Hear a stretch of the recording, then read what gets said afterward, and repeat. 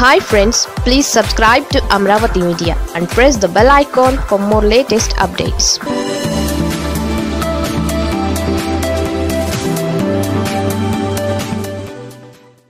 కాంగ్రెస్కు వంద సీట్లు గ్యారంటీ. అది కూడా joke of the year. Congress party అధ్యక్షుడు గిడుగు రుద్రరాజు మాటలు వింటే కామెడీ సినిమా చూసినంత హ్యాపీగా ఉంది. ఎందుకంటే తిరుపతిలో గిడుగు మాట్లాడుతూ రాబోయే ఎన్నికలలో పార్టీ వంద నియోజకవర్గాల్లో గెలుపు ఖాయమని చెప్పారు. అధ్యక్షుడు మారినంత మాత్రాన పార్టీ తలరాత మారిపోతుందని అది కూడా తనతోనే సాధ్యమని రుద్రరాజు చాలా బలంగా నమ్ముతున్నట్లున్నారు. పార్టీకి ఎంతమంది అధ్యక్షులు మారినా తలరాత ఇప్పట్లో మారేది కాదన్న విషయం పాపం రుద్రరాజుకు అర్థం కావడం లేదు. అసలు పార్టీకి వంద సీట్లు గ్యారంటీ అని చెప్పడానికి చాలా ధైర్యం కావాలి.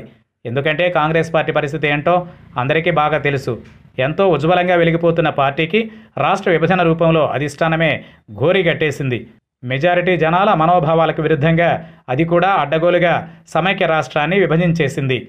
రాజధానితో పాటు ఆస్తులను కేంద్ర ప్రభుత్వ సంస్థలన్నింటినీ తెలంగాణకు అప్పగించేసింది. అప్పులను తిప్పలను సీమాంధ్రకు అంటకట్టింది. దాంతో మండిపోయిన జనాలు రెండు వేల పద్నాలుగు ఎన్నికలలో పార్టీని ఘోరంగా ఓడించారు.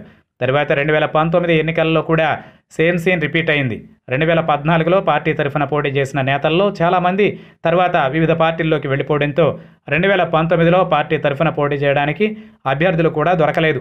ఇంతటి దయనీయ స్థితిలో కొట్టుమెట్టాడుతున్న పార్టీకి గిడుగు రుద్రరాజు కొత్తగా అధ్యక్షుడయ్యారు. ఇలాంటి పార్టీ వచ్చే ఎన్నికలలో వంద సీట్లు గెలుస్తుందని రుద్రరాజు చెప్పడం అంటే పెద్ద జోక్ కాక మరేంటి? వంద సీట్లు గెలవడం కాదు. కనీసం వంద నియోజకవర్గాల్లో పోటీకి అభ్యర్థులు దొరికితే అదే చాలా ఎక్కువ అన్నట్లుగా ఉంది పరిస్థితి. ఈ విషయం రుద్రరాజుకు తెలియక కాదు. ఏదో అధ్యక్షుడిగా రాష్ట్రంలో అక్కడక్కడ పర్యటిస్తున్నప్పుడు మీడియా వాళ్ళు ఎదురవుతారు కదా. అందుకనే నోటికొచ్చింది మాట్లాడేస్తున్నారు. జనాలలో విభజన తాలూకు మంట ఉన్నంతకాలం కాంగ్రెస్ పార్టీకి ఒక్క సీట్లో గెలిచేంత సీన్ కూడా ఉండదన్నది వాస్తవం.